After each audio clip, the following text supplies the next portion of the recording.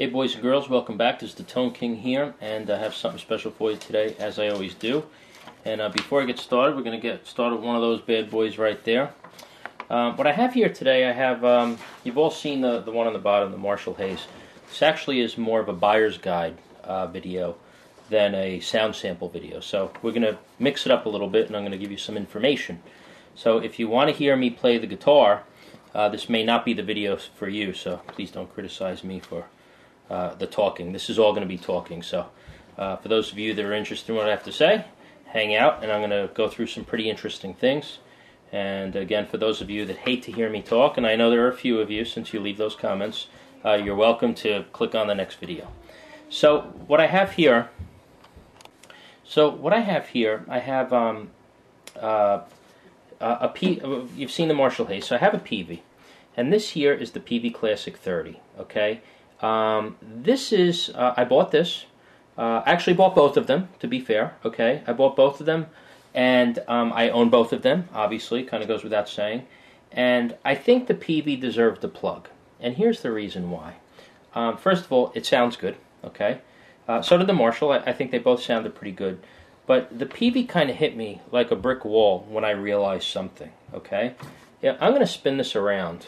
Okay, and I'm going to show you a couple of things. I'm going to zoom in on the camera. So if you look at the Peavey Classic 30, and I'm going to zoom in, you will see here that the Peavey Classic 30, you could probably see it right here, designed and built in the USA by Peavey Electronics Corporation. And over here, you could also see Peavey, made in the USA. Okay? Now, why is that important? I'll tell you why it's important. Okay?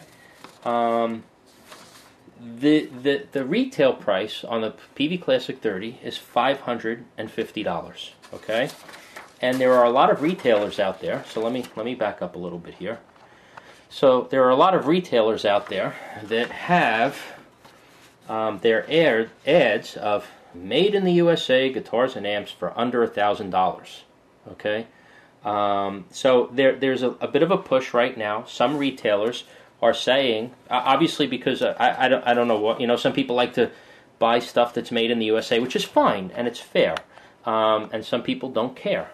Uh, the, the the reality is, and the truth is that uh, labor and wages co- uh, cost companies different amounts depending on where stuff is built. I think we all get that, okay? And here it's a premium to have something built. So typically, when you see that something is made in the USA, uh, it typically goes for a lot of money, okay? So this one, like I said, hit me like a brick wall because this one was $550. Now, if you compare it, I'm going to spin that around. If you compare that to the Marshall Haze, when I cut that, it's funny because I had a lot of people saying UK all the way, UK all the way, which is fine since Marshall is a UK based company, okay? But um, there's a couple of things. First of all, let me spin, spin around the Marshall Haze, and I'm going to let you read what I read when I bought my Marshall Haze.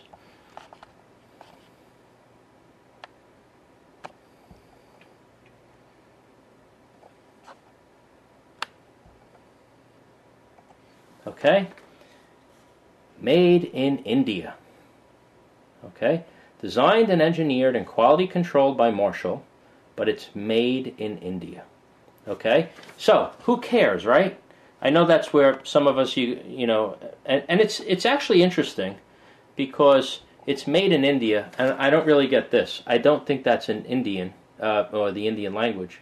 But it's funny that there's some uh, uh, characters on here that I don't think are, um, you know, made in India. Anyway, neither here nor there. What I'm getting at here is this. Okay, let me come back to the two amps, and now I'm getting to my point. Okay. So the point is, the point that I'm trying to make here is this. I put this together for you. It's a buyer's guide, okay? And this buyer's guide is also available on my website. If you go to thetoneking.com, and click on the gear, there is a micro tube head buyer's guide. Okay. Now, if we look at the buyer's guide here, you'll see that the Peavey class. This is all uh, uh, broken down by price, and this is this is what I do in my free time. Okay, so hopefully you could benefit for it.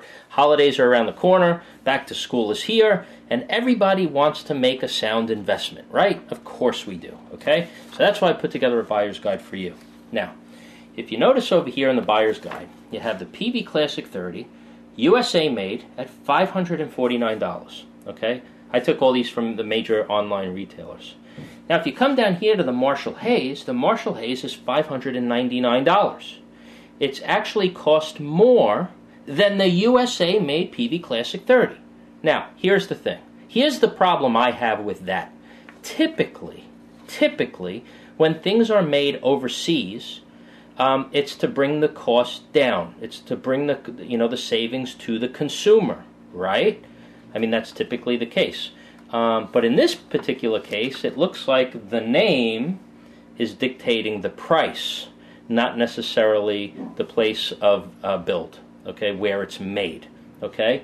So you're paying a premium, I think, for the Marshall name, not necessarily uh, the build quality or you know where it's built. Okay, so in this particular uh, uh, in, in this particular case, all things being equal, I would say the Peavey Classic 30 is a killer investment for anybody wanting uh, a made in the USA microtube series head. Okay, again, this video isn't about sound, it's more about information. Okay, um, and uh, well, you could kind of see some of the stuff on the front here. The Marshall has two channels. The Marshall has digital effects, digital effects, okay, and the Peavey is a bare bones tube machine. Four EL34s, okay, and uh, let's see if I could take this off and just show you some of the controls here really quick since it's not really about controls. But you can see the controls here. We have an input, uh, two channels, normal, and then we have a gain, which has pre and post, which is like your uh, preamp gain saturation, reverb, real spring reverb, bass, middle, and a boost, and an effects loop right on the top. Okay, so it's it's feature packed. Um, oh, actually, I put it on backwards. Let me spin this back around. It's feature packed, and again, and again, all and see this big gold thing in there. Real spring reverb. Not only that, but if you really wanted to be petty, look at the difference plastic corners on the import, metal corners on the made in USA. Okay? Um, I don't know. You guys tell me what you think. Am I being fair? Am I being unfair? These are the observations I make when I buy stuff. And like I said, this one, this one hit me out of nowhere. Um, the, the truth is, Peavey makes stuff here.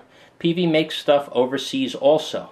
The difference is, when Peavey has something that's imported, it's a lot less expensive than this imported stuff. Okay, you could buy like a Peavey uh, Windsor uh, head, which I bought my Peavey Windsor head, hundred watt head for I think it was like two hundred fifty or three hundred dollars, killer price. Okay, so nonetheless.